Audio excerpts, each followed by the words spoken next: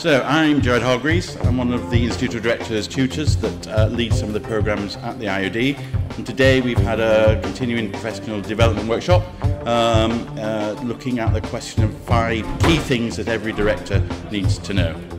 So these events are really, really good because it's a pit stop, it's a short period in a busy working day, but the aim of it is just to get people to think about what are some of the issues underpinning the roles and responsibilities of a director and what one or two things do, can they take back to their organisations to actually look at, put into practice, look at in terms of their own organisation.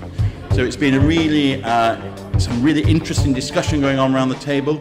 Lots of different types of organisations represented, from colleges to charities to family uh, companies, that's helped to build and, and enrich the discussion as we've looked at the, the key role in any organisation. What is it that directors need to do?